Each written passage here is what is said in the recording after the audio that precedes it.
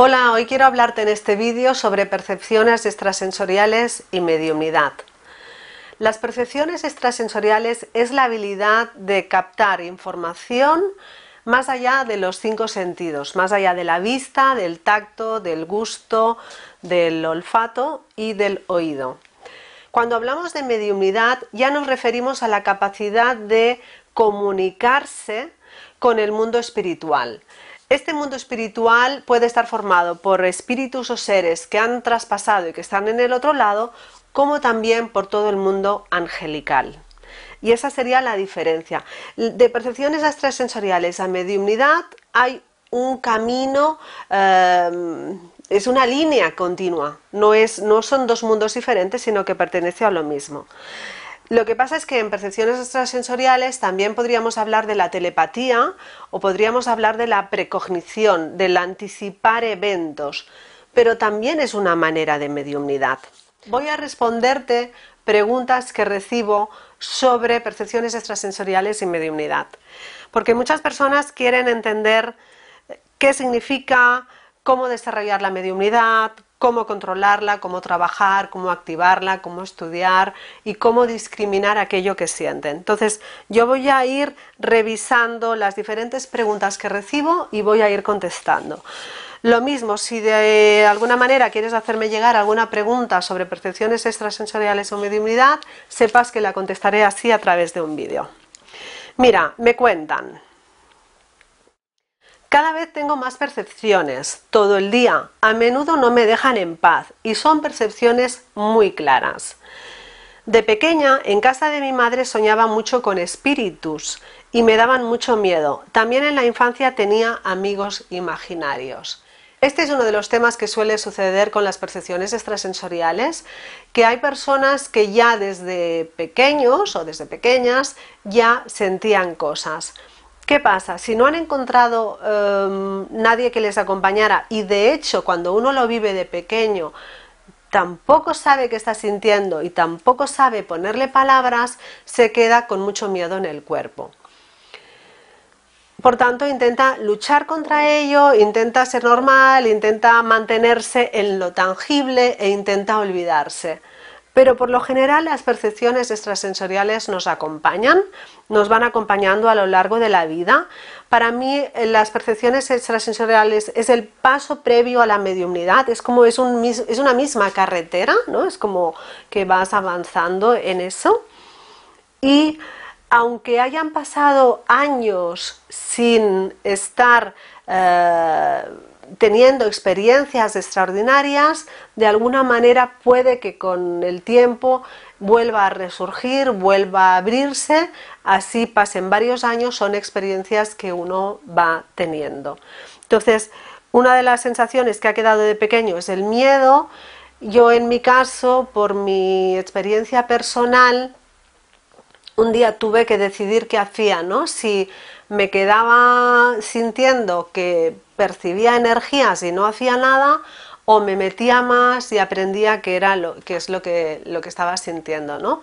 Y de hecho, porque más adelante además se me fue desarrollando la mediumnidad. En mi caso, yo no recuerdo de pequeñas anécdotas, no las hay de, de que yo dijera que sentía o veía nada, pero con los años sí que se me ha ido abriendo ese canal o esa habilidad, esa capacidad que de alguna manera todos tenemos, pero que a lo mejor con atención y, con intención puedes irla desarrollando más, ¿no? Entonces, como te contaba, yo me quedé con, cuando sentía energías, es como, ¿qué hago ahora? ¿Me llevo esto a casa?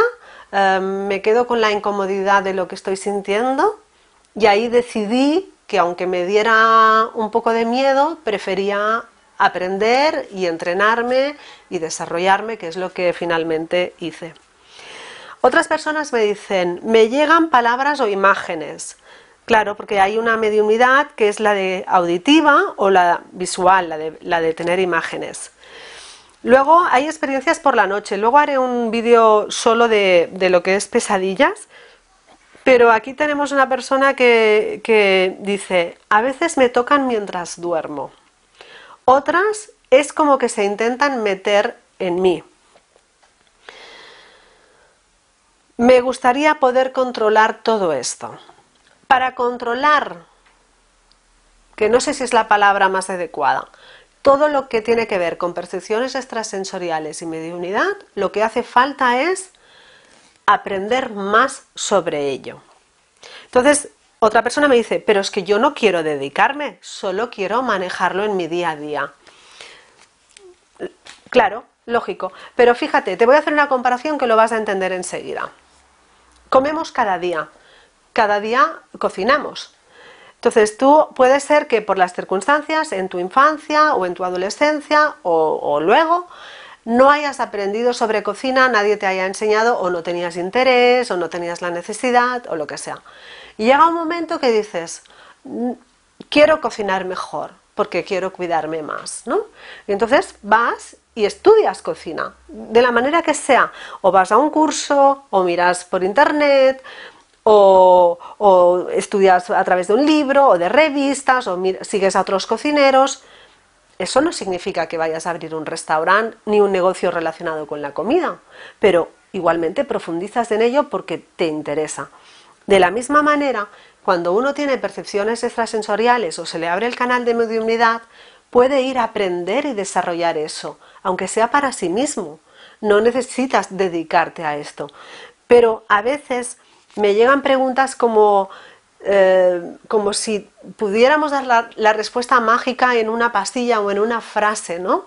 Y no, el conocimiento es algo que requiere tiempo, requiere esfuerzo y requiere como profundizar, porque todo lo que tiene que ver con las percepciones extrasensoriales, pues hay diferentes cosas a conocer y entender sobre ello. Otra persona me cuenta, empecé a notar en mi casa que algo no estaba bien energéticamente. Bien, muchas personas tenemos la percepción cuando entramos en algún sitio, en algún local, de aquí no estoy bien, aquí no estoy cómodo, aquí hay malas energías o energías negativas, así lo expresamos. Por tanto, fíjate cómo las percepciones todos la tenemos. Pasa que hay personas que lo sienten con más intensidad y personas con menos.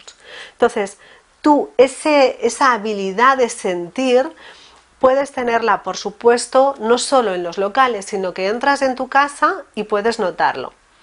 ¿Qué puede estar pasando? Puede ser que la casa en la que estés entrando, pues a lo mejor es una casa que acabas de mudarte recientemente y no sabes quiénes vivían antes, no sabes qué energía había antes. A lo mejor es una casa que es muy antigua, que hace muchos años que está construida. Tampoco no sabes lo que pasó con los inquilinos originales o inclusive lo que había antes de que hubiera la casa. Tampoco conoces los vecinos. O a lo mejor tú ese día o en la casa convives con otras personas y esas otras personas han estado en sitios que a lo mejor eran densos y que de alguna manera ha habido energías que se han quedado pegadas a ellas. Por tanto, al entrar en la casa, a lo mejor las dejan ahí. Entonces tú llegas llegas a tu casa y dices, es que hay mala energía. Entonces, ¿cómo se limpia? Pues bueno, es todo un conocimiento cómo se limpia. Pero, ¿por qué te digo que es un conocimiento? Porque otra vez volvemos a estar que no hay una varita mágica. No es lo mismo despejar información de, emociones, porque fíjate, ¿eh? tanto los em, nudos emocionales, los traumas, las discusiones dejan una frecuencia pero si hay espíritus o hay seres o presencias de seres desencarnados, dejan otra energía, otra frecuencia. Entonces, no es lo mismo despejar una cosa que despejar otra. Por eso tampoco te lo puedo contestar así en un momento, porque evidentemente hay maneras de limpiar el espacio a nivel general. Pero si lo que hay es una energía, una entidad o una presencia, no es lo mismo si es alguien que un alma que pasaba por ahí y está como perdida, porque de esa manera la guiarías de una manera, que si es un alma de un familiar que requiere algo antes de poder irse, con lo cual no se trataría de limpiar o de protegerse o de mandarle a la luz, porque primero hay una comunicación previa que quiere realizar, o inclusive si fuera el alma de un bebé tuyo que no ha nacido, que hay toda una sanación que cuento en, el proyecto de Bebés de Luz, hay una sanación pendiente de realizar y que no se trata de que limpies el espacio o de que...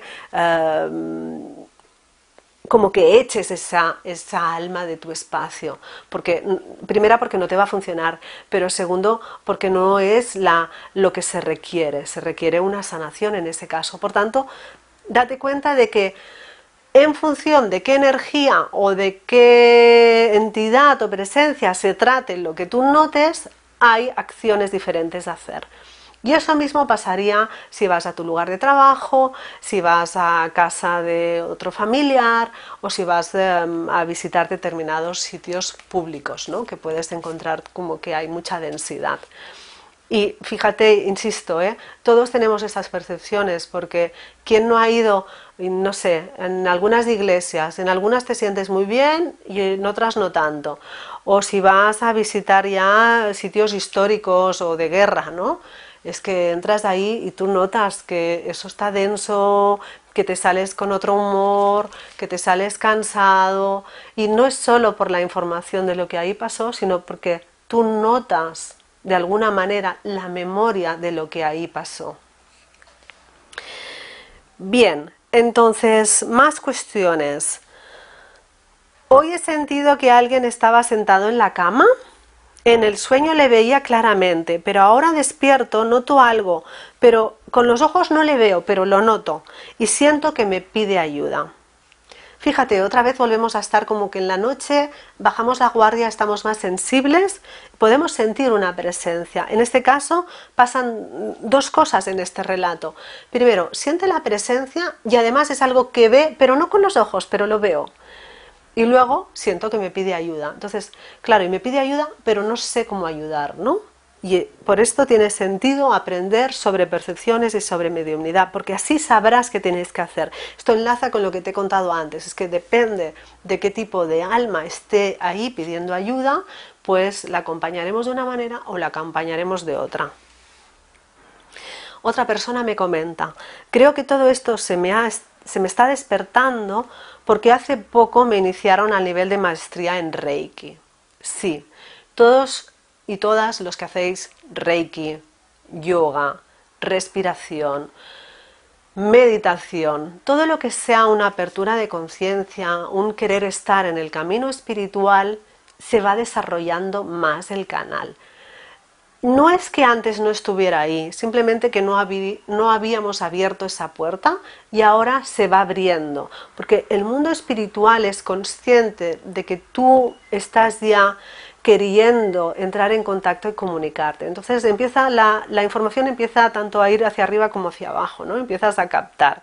Y al principio quizás da un poco de, de, de susto, ¿no? Porque tú dices, estoy empezando a notar cosas, ¿no?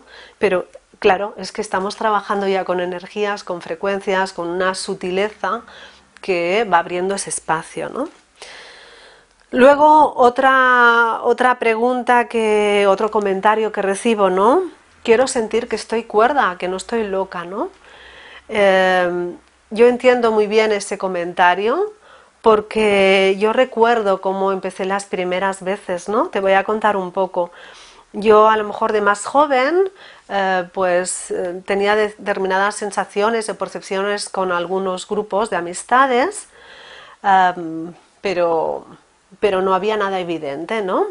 Y entonces yo lo que hacía, pues la verdad es que era fustigarme un poco, porque yo pensaba de mí que era antisocial, que me hacía películas y que, bueno, y que yo qué sé, que me inventaba cosas, ¿no? Que era, que era cosa de mi imaginación. Pero lo cierto es que con los años, después hablando con otras amistades, me confirmaban lo que yo había sentido y que no era evidente, ¿no? Entonces ahí empecé a dudar de, bueno, pues quizás no, no es tanto tu imaginación como que quizás sí que estás captando cosas que pasan en los grupos, ¿no? Y eso lo dejé ahí.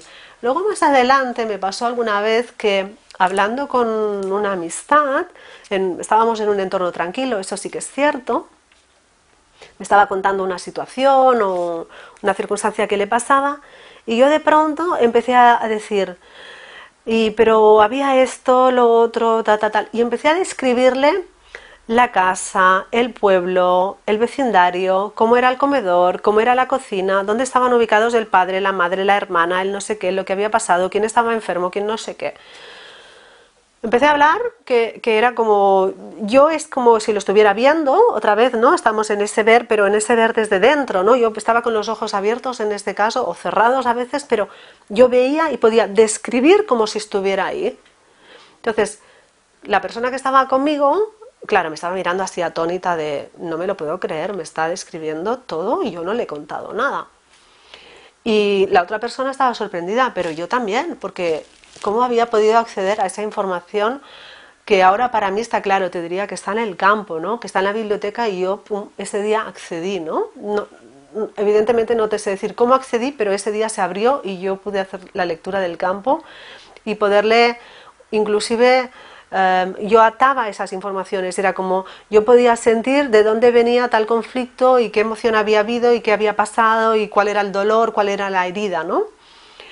Y bueno, era muy interesante, pero claro, eh, a mí me dio para reflexionar de, ¿y esto que sucede espontáneamente? ¿Esto se puede gestionar, ¿no? ¿Se puede controlar, como algunos decís, ¿no? Bueno, pues sí, sí, aprendí, aprendí más adelante a cómo entrar en ese espacio pero también te digo que todo lo que tiene que ver con la comunicación con el mundo espiritual no es tanto cuando los mediums lo decidimos, sino cuando el mundo espiritual quiere que esa comunicación se dé. ¿Vale? Pero eso ya lo voy contando más adelante. Eh, lo que sí, a lo que iba esto, ¿no? Cuando tú estás haciendo estas, eh, cuando estás describiendo todo esto, cuando yo le estaba describiendo todo esto a esta, a esta persona, claro, Em, yo me puedo plantear de, es mi imaginación, estoy cuerda, ¿qué está pasando? Pero claro, esta persona me confirmaba que sí, que lo que yo estaba describiendo de la casa, de las personas, de las escaleras, de cómo era el comedor, de cómo entraba la luz, de que, cómo era el pueblo y tal, claro, me decía todo, sí, sí, sí, es que es así, es que esto era la casa de mis padres cuando yo era pequeña en el pueblo, tal, tal, tal, ¿no? Entonces, cuando alguien te va confirmando que todo lo que estás diciendo es cierto y sabe que no te lo ha contado y sabe que tú no has estado ahí, eh, sabe que no hay manera de que lo pudieras saber, ahí es cuando te empiezas a dar cuenta que no es tu imaginación, que estamos muy cuerdos, que esto no es locura y que estás captando algo a través de unos sentidos o de una manera que no es la, habitual o la popular, vamos a decir así, ¿no?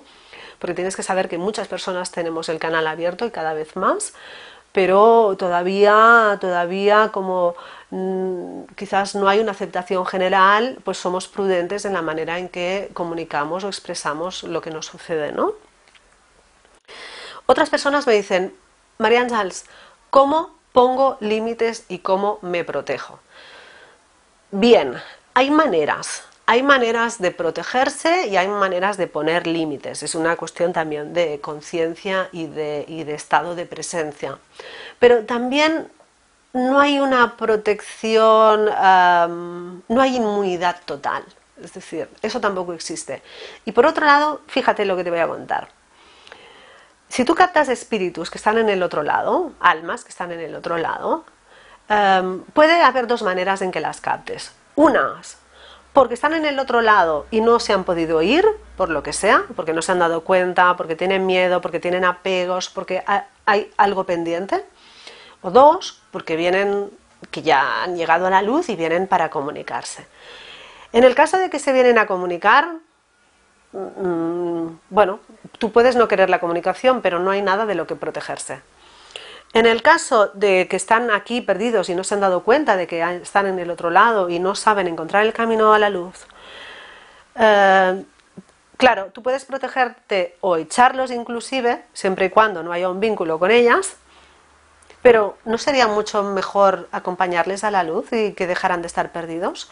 Porque nosotros también seremos espíritus y también seremos almas.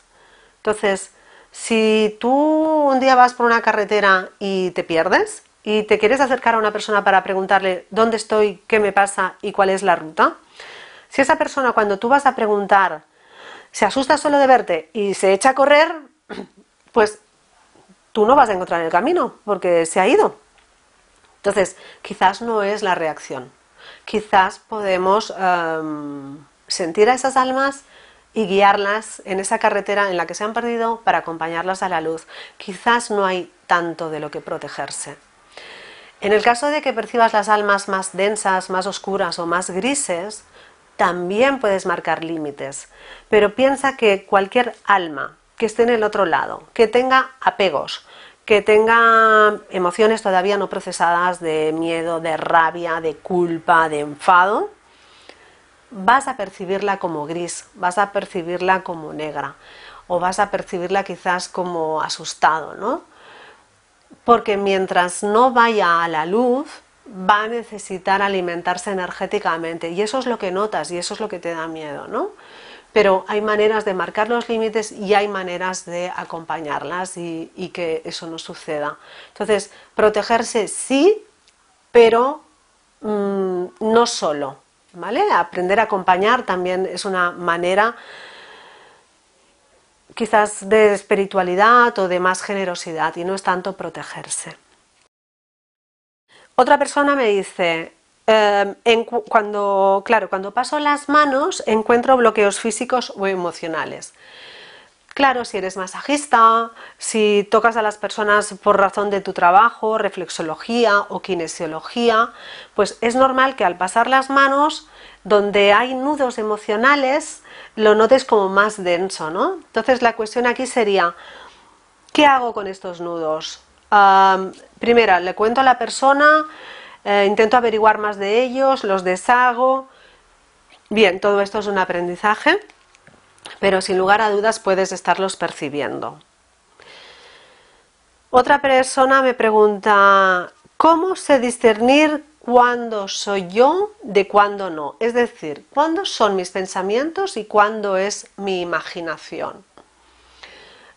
Para poder distinguir cuándo estás percibiendo algo, de cuándo son tus propios pensamientos, es imprescindible que primero te conozcas muy bien, hayas hecho un trabajo de interiorización, seas consciente de cómo te hablas y por otro lado que hayas limpiado el canal del filtraje de otras voces.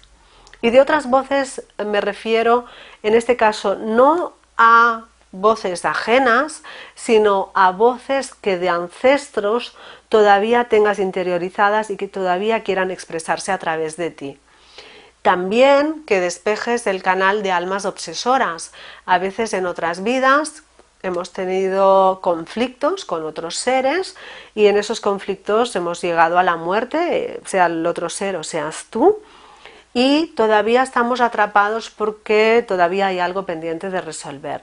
Entonces tú has encarnado en otra vida, pero esa alma a lo mejor no ha podido seguir su camino porque hay algo pendiente contigo y de alguna manera a lo mejor está viniendo a buscar que eso se cancele para poder liberarse, porque está atrapada a tu campo electromagnético por razón de que el conflicto no se ha resuelto. Entonces, para poder distinguir qué voces estás escuchando, tienes que aprender a acompañar a las almas que, que, puedas estar teniendo todavía cosas pendientes, sea de esta vida o sea de otro tiempo. Solo así podrás discernir bien cuándo es tu voz de cuándo no. Después tenemos em, personas, hombres y mujeres, que ya ahora ya son padres y madres, que tienen niños pequeños y que al percibir piensan, bueno, si yo percibo y yo noto cosas, a lo mejor mis hijos también. Entonces, ¿cómo hago para proteger a mis hijos que de alguna manera energéticamente son más, vulnerables, ¿cómo hago para, protegerse, para protegerles de lo que yo estoy sintiendo? ¿no? Entonces, desde esta perspectiva también va muy bien saber, pues eso, cómo limpiar, cómo acompañar, cómo proteger, para mantener un espacio limpio y lo más protegido de cara a los pequeños.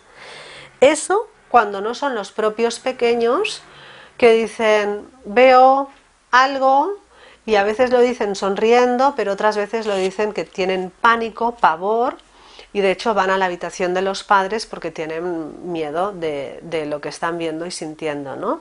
Entonces, como el padre o la madre a veces no lo ve, mm, piensa que es el niño que quiere simplemente estar con los padres. No, para los niños todavía no hay el filtraje, todavía no han cortado esta capacidad de percibir y ver, de hecho son mucho más sensitivos que nosotros y además lo que les pasa es que no saben poner palabras a lo que ven o sienten, ¿no? En los casos de mediums muy claros que desde pequeño veían, piensa que el medium o la medium podía estar en la mesa viendo a mamá y viendo a la abuela, pero la mamá estaba en este plano y la abuela no, pero el pequeño veía a ambas. Entonces, el pequeño no entiende que uno está en el otro plano y el otro no. Entonces, es muy difícil para un niño que percibe y claro, si ve todavía le podría poner palabras, pero si no ve no le puede poner palabras porque solo lo siente. Es muy difícil expresar lo que está sintiendo y si tiene temor más le cuesta y entonces por eso es importante em, saber lo que existe, saber que se puede percibir y cómo cuidar y proteger el espacio. Entonces, una última pregunta es, ¿podría yo llegar a encontrar las herramientas para ayudarles? Pues, sí, por supuesto, de eso, estoy contando, ¿no? Em, yo he preparado una formación que está online, que es Comunícate con el mundo espiritual sin miedo, precisamente para poner orden a todo esto y para poder enseñar a cómo acompañar a cada alma en cada caso. Em, he hecho el curso de manera presencial pero no todo el mundo puede venir, hay personas que estáis lejos, que no os va bien el desplazamiento, los horarios, etcétera, y por eso he creado este, este curso online. Después de que yo he pasado por todo este recorrido, ¿no?